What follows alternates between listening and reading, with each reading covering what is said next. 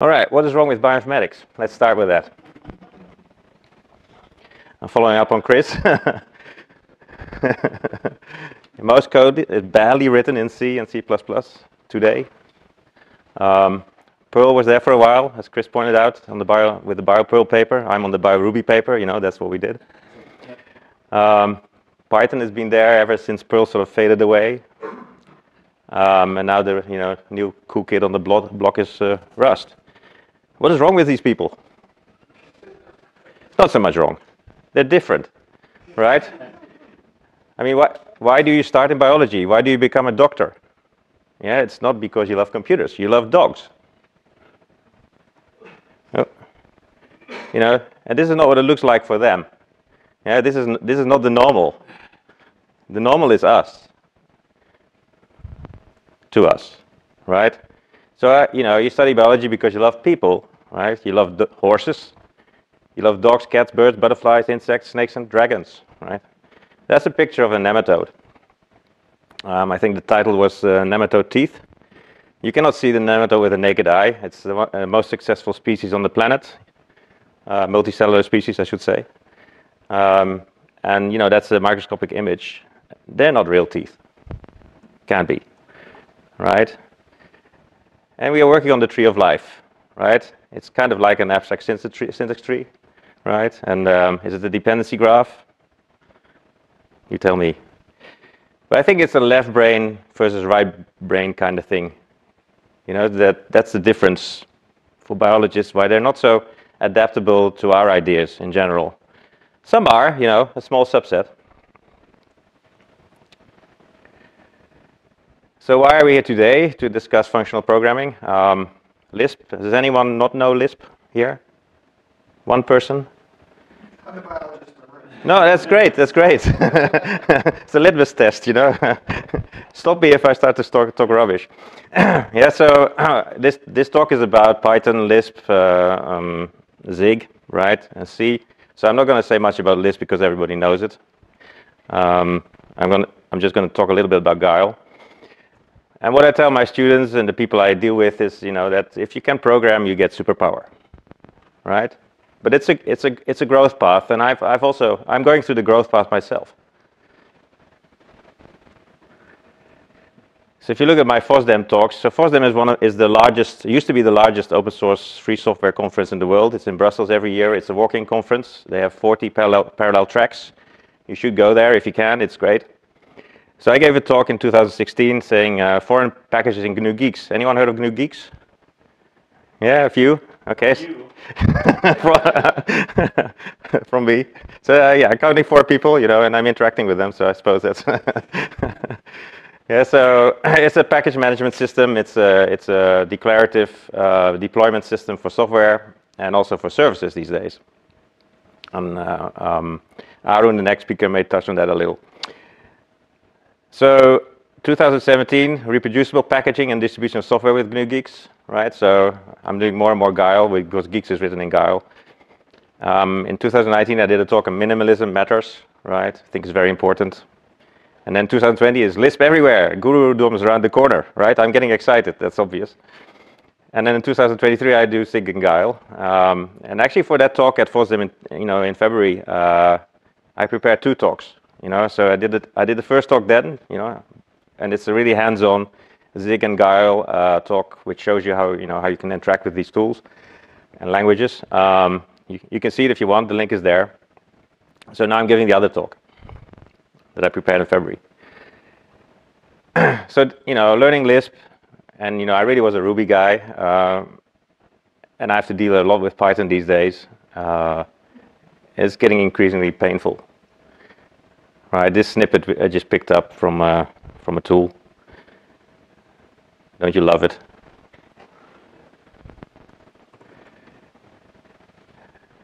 And then everyone is a language expert, right? So you know, we we started off today with a with a language war on Racket and Guile. uh, when you meet somebody like Andy Wingo, you just go, okay, mm, you know, really. so Andy is amazing. Uh, and he's the, really the man behind GNU Guile. And GNU Guile is a, is a scheme Lisp. And it came, you know, it was, if you, if you use GNU Guile some 15 years to go, uh, or even 10 years ago, it's a completely different animal from what it is today, right? And it's, most, it's all due to that, to Andy.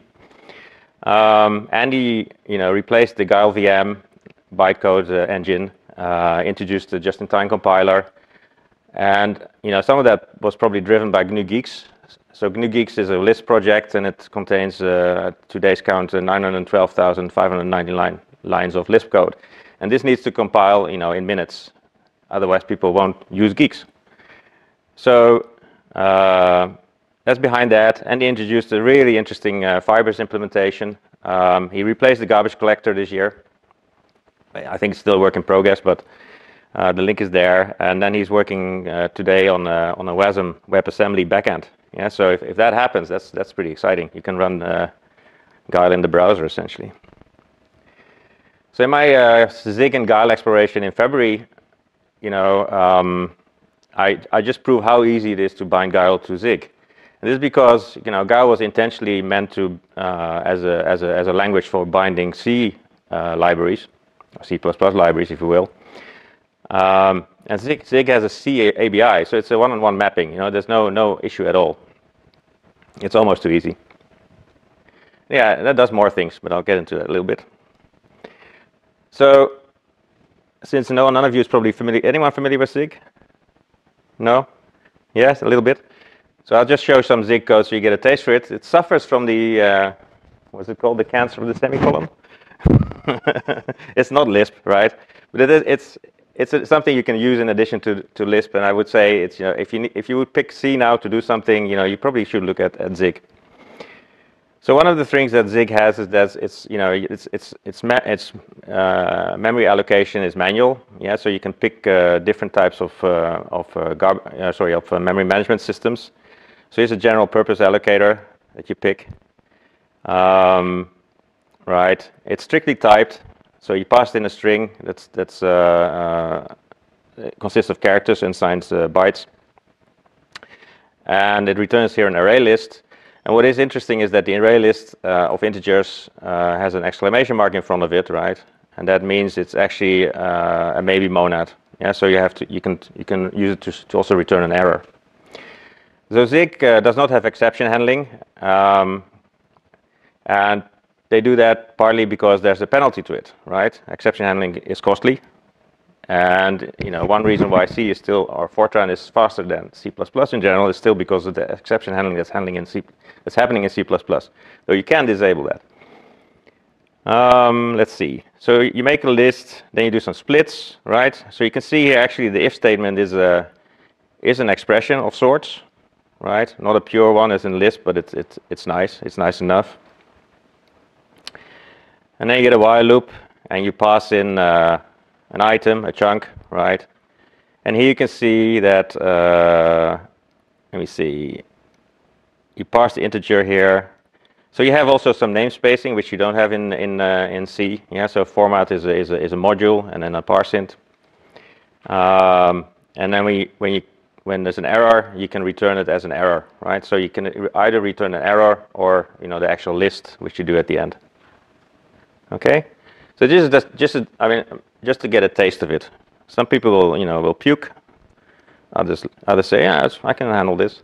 Just one more example is that, um, you know, a difference bet with Zig between Zig and C is that Zig tries to avoid you to shoot yourself in the foot.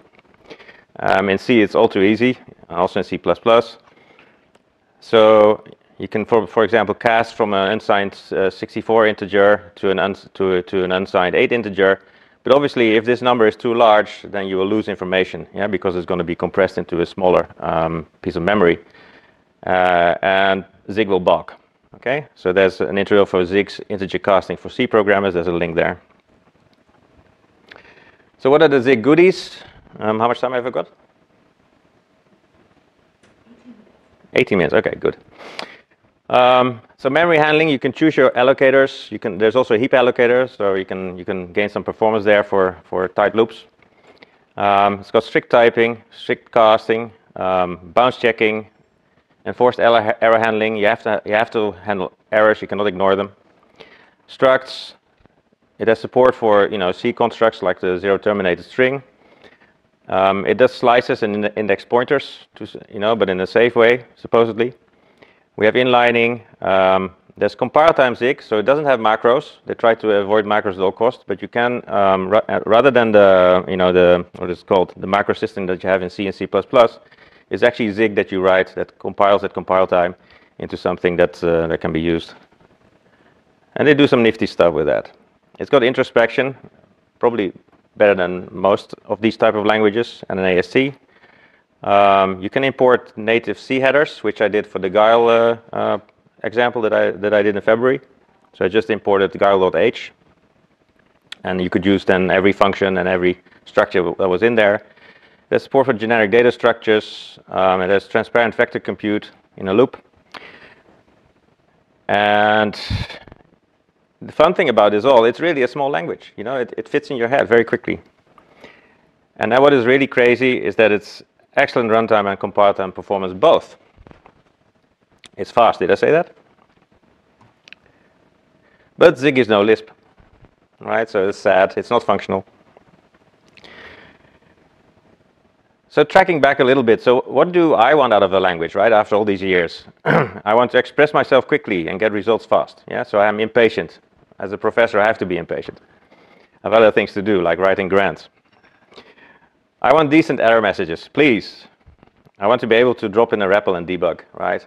And this is something that few bioinformaticians use today. Yeah, so Python has a REPL, right? They'll tell you, but nobody uses it. Well, hardly, right? And why is that? Because it's bloody useless. And you only learn that when you start to do Lisp. You go, okay, oh, this is nice, right? Um, I want to be my code to be recognizable and readable after two years. Okay, that's, that's a nice aim. I want some stuff to be really fast at compile time. Okay, and that's why I would use Zig or C, right? Because, you know, uh, Lisp can be really fast, you know, and, and, and, you know, a lot of Lispers will claim you don't need anything else, but sometimes you do. Um, and I like compile time checking when I want it, right? Because it, it holds me back. And I want few dependencies if possible. So a little bit on FP. Um, please learn FP if you haven't, and this is for the audience that might be watching online. because it gives true insight into abstraction, state handling, side effects, declarative computing, deterministic computing is all there. And so, you know, I would conclude that. Um, but functional programming is not always great, right? Because CPU's underlying hardware is not functional.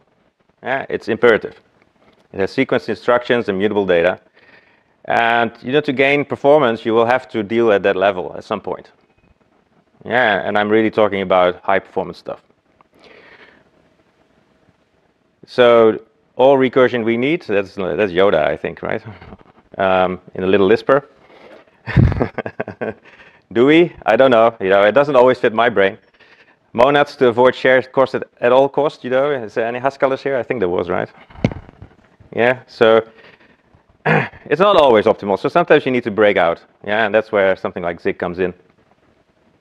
Strict typing is useful. It creates faster runtimes. You know, it helps the compiler um, optimize.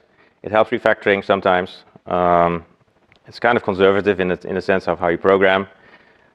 But you know, strict typing in general, when I when I'm dealing with it, it slows me down terribly. You know, it's it's it's it's really uh, you know not my preferred way of programming. Um, and Zelos slowed me down too, right? I mean, if you talk about strict typing, some people go off on a tangent. garbage collectors. Um, faster development, less mistakes, right? So garbage collectors are extreme, are a really great invention. Um, but you think, what's not to like, right? If you if you never used, you know, but you try to bind against another language, you go, you know, you have two garbage collectors, right? And they start to interfere with each other. You go multi-threading, you know, the whole thing starts to blow up in your face, and that has happened quite a few times to me. Then you have start, stop the world issues, you know, depending on implementation. Um, so, you know, garbage collectors can be nasty. Um, yeah, and I think that's that's where a language like Zig comes in. Is it doesn't have a garbage collector. And, and it's quite useful to bind against, you know, Lisp or, or Python or whatever. So I gave a talk on minimalism. Um, it matters. You know, when I, when I read code, it should fit in my head. I, I you know, I, I'm not a great coder. I mean, I've, see, I've seen people who are amazing coders and they can fit a very large model in their heads of their code, right? Um, I, I'm not like that, so I'm, I try to keep it simple. But complex systems are also not that transparent, um, and also languages. So both Zig and Guile as, as language implementations are surprisingly small. They're really, really small. What is lousy software?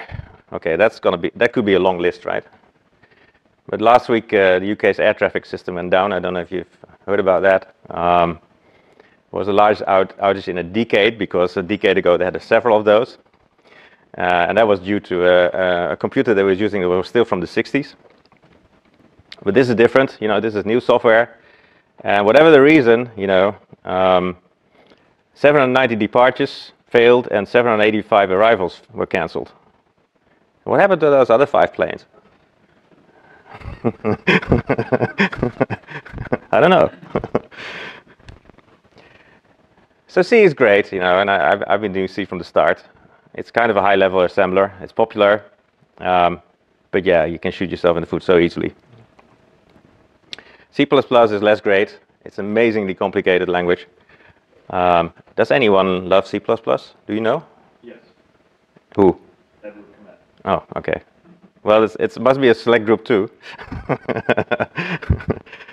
um, but it, you know, what is really annoying, it, it, it has slow compile times, right? Um, and that's, that's something I want to talk about a little bit. And the runtimes are smaller slower than C sometimes. And then you have the elephant in the room, right? Anyone may have heard of this language that will replace all. I wanted to love it. You know, what's not to love? It's secure and fast. It has functional programming paradigm. But it pulls in complex, complex dependencies. You know, it's, it's, it's a dependency graph is quite nasty. The syntax is not that beautiful. Anyone done Rust here?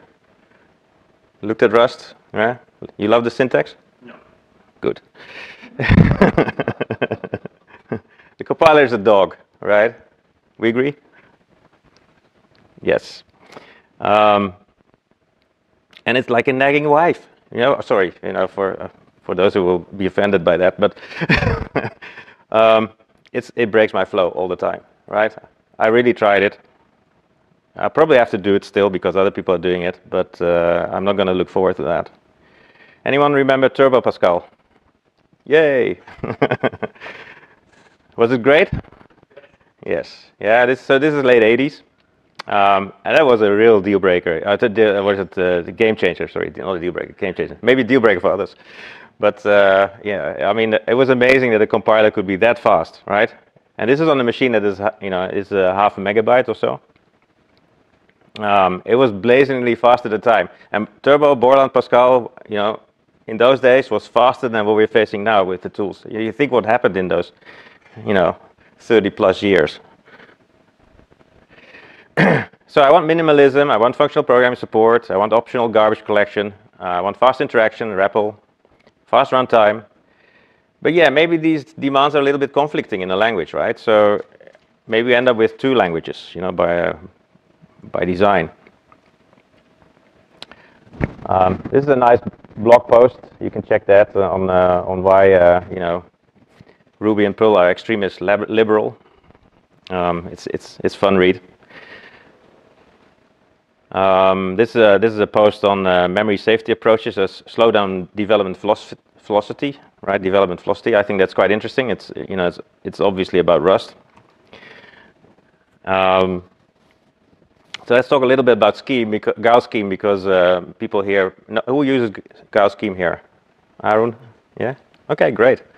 Really? Okay. So Guile has come a long way. Um, you know, it has a garbage collector, it has a REPL, it's minimalistic, um, and it has really good C bindings. Yeah, so I really like it. You know, I did I did a stretching racket. I didn't enjoy it that much. Zig, meanwhile, is a minimalistic language.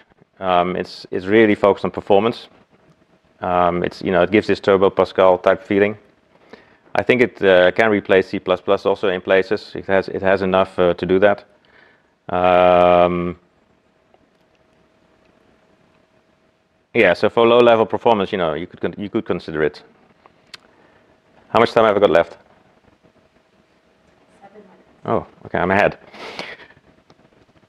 because I got two more slides.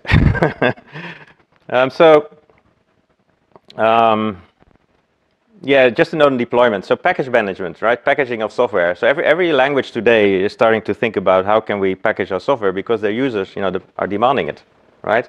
Rust, part of Rust's popularity, I think, is because it, you know, it's this ecosystem where um, they build their own package manager. So it's really easy. You know, everybody tells me it's so easy to use Rust. Um, so the languages I, I, mentioned here, you know, C and C++ don't really have package managers, right? Guile doesn't have a proper pa package manager. Um, what does it mean? Python is a strange case because it has many package managers, but none of them really, you know, very useful. So, so they ended up with a sort of, uh, you know, uh, something that had to work for everyone, and, you know, it's, it's actually not that bad. And Zig, in their uh, wisdom, has also started on the package manager. Um, whatever you choose to do with the package manager, don't don't make it into an ecosystem, you know, because you always have to bind against other languages. You know, you cannot you cannot isolate yourself from the dependency graph. And so, so if you live just in, a, in in one world of package management, you're going to make it really hard for your users to break out of that. Um, most package managers, you know, don't handle dependencies well, as we know. They ought to be det deterministic. What does it mean? You know, there, there should be no circular dependencies, right? Well, in GNU Guix we have to package things, and package managers that are circular are really problematic for us, and that includes NPM, it includes Rust Cargo, um, it includes Racket, Racket's package manager, I forgot the name. Yeah, so so they they're really really problematic for uh, making deterministic deployments. And in fact, you don't need a package manager because we have GNU Guix, you know, and, and, and the C and C++ world has always proven that we actually don't need a package manager if you just, you know, use the, um, the proper package managers that come with the distribution. So I, th I think that, uh, you know, bioinformatics and many applied sciences will remain a mess from a computer science perspective, right? But we can we can grow up a little, right? And we can we can we can you know grow up together uh, or grow towards each other, you know, because I'm really impressed by some of you.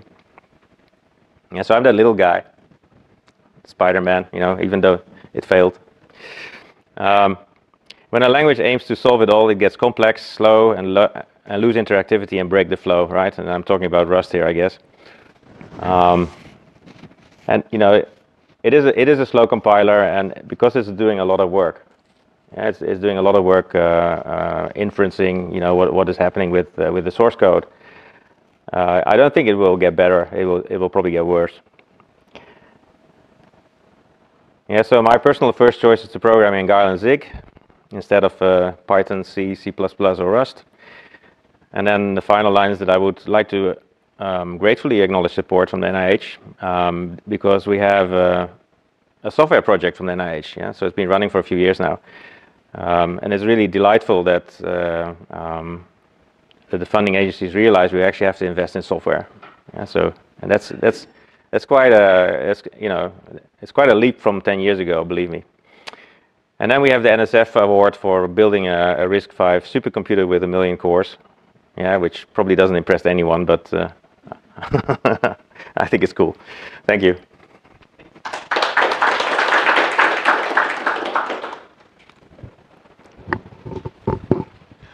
So I want to I want to start by saying that this is the first time I've ever seen a presentation fully done in the command line. I'm sure that I might I'm probably the only one in the room that can say that, but I it's it blew me away.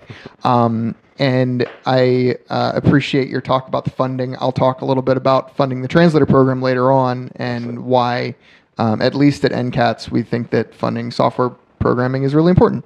Um, one thing that was really interesting to me was um, like it, this seems like part, part of what you're presenting here is something that you show to your students to, to you know tell them you know why are we doing this? Why does bioinformatics exist?